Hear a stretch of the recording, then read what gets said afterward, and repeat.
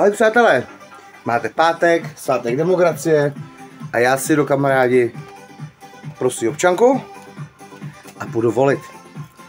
To víte no, svátek demokracie musím mít, takže my si hodíme za chviličku zvenku.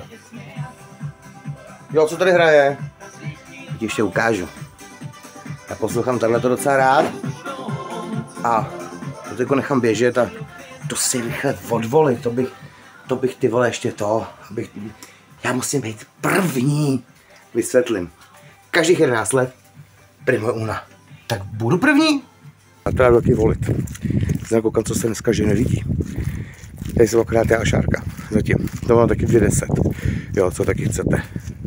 Každopádně jdu volit. Co jdu volit, to se dozvíte během videa, možná, že ne.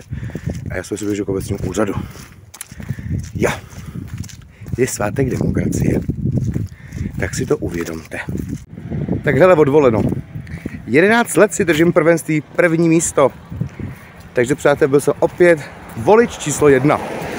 Je, hele, to už taková tradice.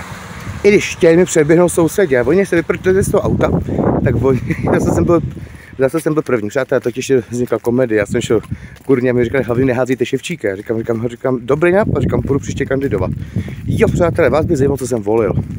To byste neuhodli, volil jsem kandidáta na prezidenta České republiky. Takže mi po 11 letech nikdo prvenství voleb neseber, takže zase budu v kronice, zase já. to už taky říkala, Helenka říká, běžte, běžte, hele, Ševčíka, pojďte ho předběhnout. Nezstihli to, to už máte to už máte marný. Já prostě jsem vždycky první. Uno prima.